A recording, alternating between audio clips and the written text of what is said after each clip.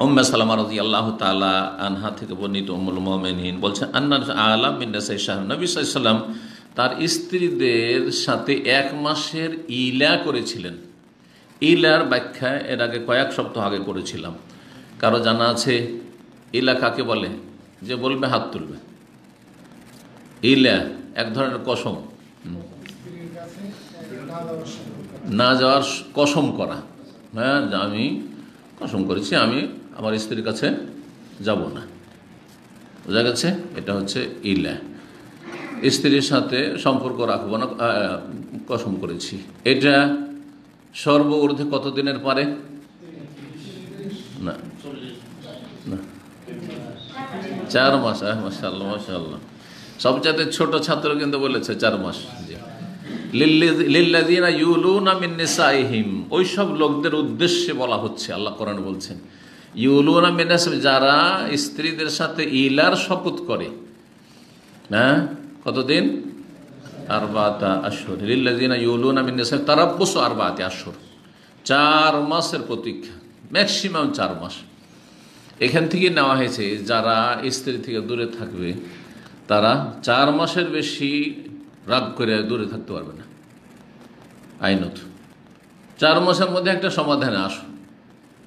চার মাসের পরে হয় সম্পর্ক করো, স্থাপন কর, আর না হলে ছেড়ে দাও। না হলে ছেড়ে দাও। এটা হচ্ছে শরীয়তের বিধান।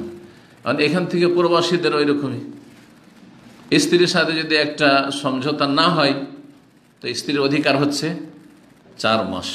ওমার রাজি আল্লাহ জামানে এরকমটাই করা হয়েছিল, যারা মুজাহিদিন, যারা বর্ডারে ইসলামিক দেশের খেলাফতের বর্ডারে যারা ডিউটি করতেন তাদের ক্ষেত্রে যে এক মাস যেতে, এক মাস আসতে আর চার মাস ডিউটি ম্যাক্সিমাম এটা ছয় মাস।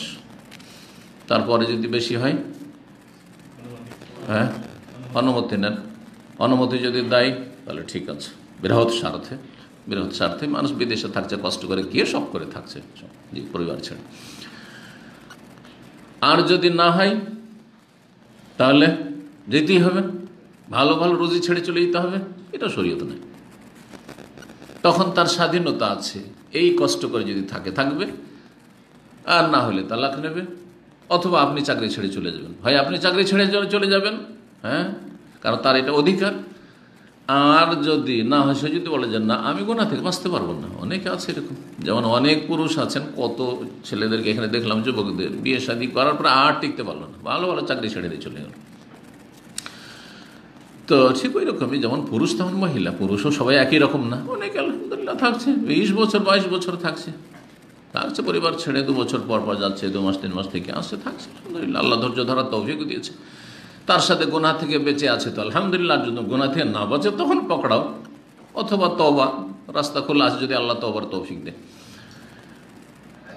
তো যেটা বলছিলাম যে, হয় চলে যাবেন, আর না হলে প্রথম কথা হয়, এটা সমঝোতে আসবেন। সমঝোতে না আসলে না, এটা হইতে পারে না। আমাকে গোনা থেকে বাঁচতে হবে। তুমি আসো, তাহলে চলে যাবেন। আর যদি না যান তাহলে তাকে স্বাধীনতা দিতে হবে। স্বাধীনতা দিতে হবে। জি হ্যাঁ সে যে কোনো জায়গায় অন্য জায়গায় তালাক নিয়ে সংসার করতে পারে। কারণ উদ্দেশ্য হচ্ছে গোনা থেকে বাঁচা। বিয়ের যে বেশ কিছু উদ্দেশ্য, তার মধ্যে সবচেয়ে বড় গুরুত্বপূর্ণ উদ্দেশ্য হচ্ছে এ ফাফুন নাস পুরুষ, নারী, নর, নারী, নিজেকে গোনা থেকে বাঁচাবে। এটা হচ্ছে এক নম্বর উদ্দেশ্য। দুই নম্বর উদ্দেশ্য হচ্ছে তাকসিরুন নাসল, প্রজন্ম বৃদ্ধিকরণ, প্রজন্ম বাড়ানো। এই না যে দুটা করে নেব, একটা করে নেব, এটা ইসলাম বিরোধী কথা। বেশি বেশি আল্লাহর বান্দা বাড়ান, যাতে করে আল্লাহর নেক বান্দার সংখ্যা পৃথিবীতে বাড়ে আর আল্লাহর এবাদবন্দি কারি দুনিয়াতে পয়দা হয়। জি। আল্লাহ